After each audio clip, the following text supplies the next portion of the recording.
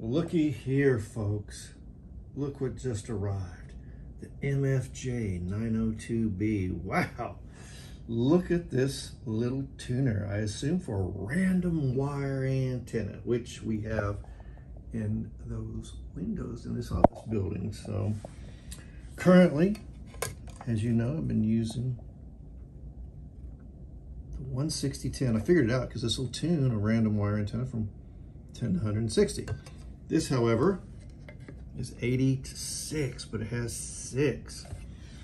All right, and you're thinking, man, that is a fancy tuner. Does it have a power supply? You don't need one. Look, you don't need one. It's just, here's a grounding peg, but just plug this thing right in. And then, uh, I guess set these to one or two, whatever, then just start rolling your inductance and see where you get your best uh, thing there. Two position switch, HF, six meters, HF. All right. But still, the world is still kind of shut down a little bit there. The solar storm. But yeah, man, there it is.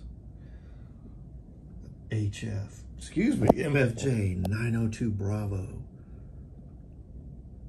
tuner. 150 watts. I believe that is 200 though, y'all. But you can't find these anymore. Like this is like, this is uh, my friend's, so I gotta give it back to him. So sad.